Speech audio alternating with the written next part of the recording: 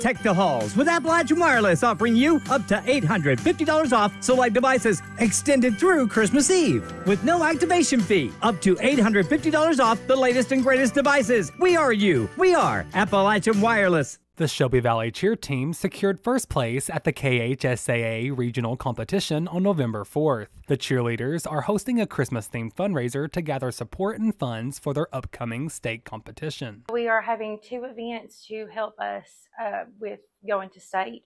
We go to state on December 9th, we compete. And uh, so these two events, the first one in the morning, we are having breakfast with Santa.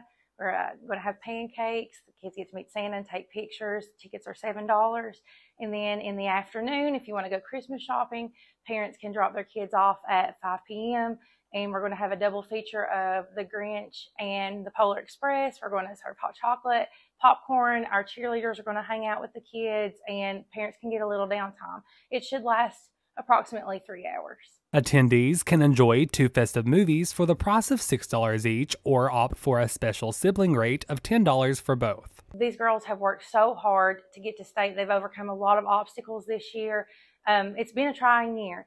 And so for them to go to region and they cranked out a first place win, it's just, it, it's awesome to see. And I'm super proud of them. And um, it not only takes a lot of work on the mat, but it also takes a lot of work financially, which is why we need these fundraisers. When we won regionals, it was probably the best feeling I have ever had. We had worked so hard for that the past month. We overcome a lot of obstacles.